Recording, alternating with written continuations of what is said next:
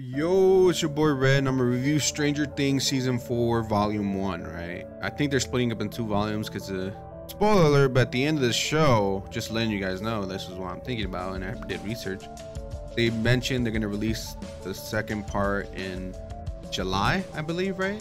So that's kind of interesting. That's cool. We don't have to wait that long. Um, but here first, you get what eight episodes, I think it was. My bad. You get seven episodes, right? Um, pretty good stuff. Uh, I'll be honest with you. Uh, the, the, poster in the back I have hear in the background is basically you get split into the four groups, right? You have uh, the kids back in the town exploring this weird new phenomenon going around. Someone's killing kids again randomly.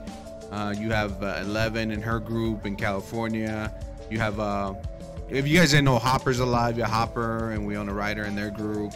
And then, of course, the main star of this volume, who I think is the main star, is uh, Max. She st- she stole the show. Uh, you asked me, besides you know Hopper and Winona Ryder, which obviously they're gonna steal the show. Max is our main character now, right? She's the one fighting against this new creature we have here. Um, we get to see her side of things. She's apparently broken up with Lucas. Uh, Dustin and Lucas are ha- like Dustin, Lucas, and uh, not Will, fucking what's the other guy's name? Mike are having issues because Lucas is becoming popular. He's joining the basketball team, stuff like that. Eleven is kind of doing her own thing. She doesn't have powers anymore. She's beating up girls or something. I don't know what she's doing. She's getting bullied or something, right? We've seen that before, and we see it again here. But yeah, Max though definitely the main character in this volume. She she's in everything, everything that's fun. Look, the poster, like I said, explains it very well. Four parts, right? Out of those four parts, I only care about three. It was sad to say, but a lot of people I talked to said also they kind of did Millie Bobby Brown bad in this part, right? This uh, only this part, right? And it's because it's kind of boring. We've seen this before. She's trying to regain her power. She lost her powers in the previous season. She's trying to regain it. It's gonna take a while.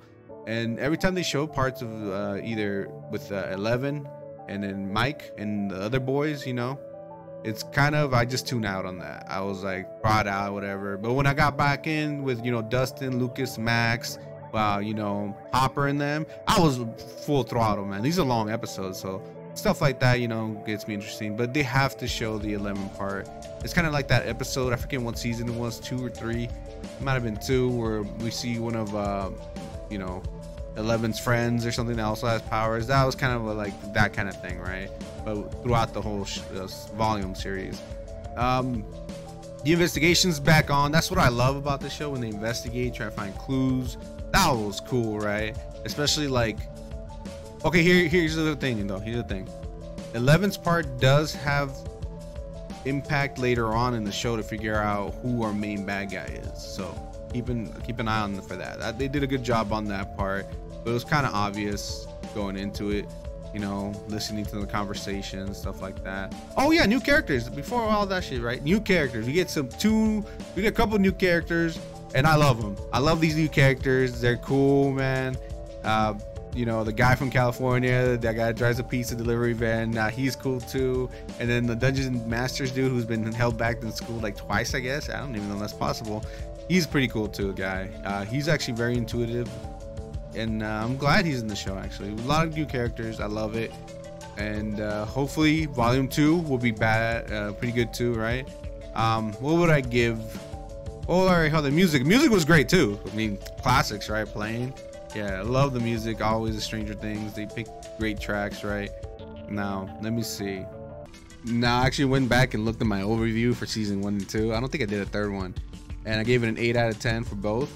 I think this one was a little weaker than those two, but I'm gonna give it a eight out of ten too. It was, I think, it's just an eight good show, right? Watching all the way through, you binge watch the whole thing. It's great.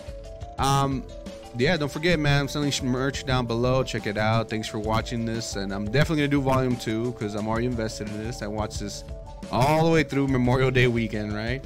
Pretty good actually. We released it right on the Memorial Day weekend. We got to binge watch the whole thing, and I enjoyed it. Uh, thanks for watching. See you guys later.